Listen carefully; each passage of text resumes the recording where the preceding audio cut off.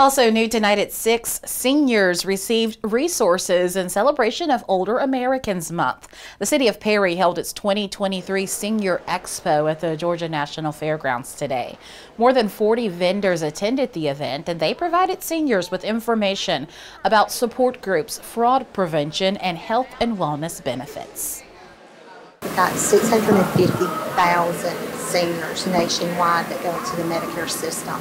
And so it's super important, especially for their caregivers, to learn about um, the next steps in their life. Expo organizers say they're looking to host this same event at the Galleria Mall in Centerville next month.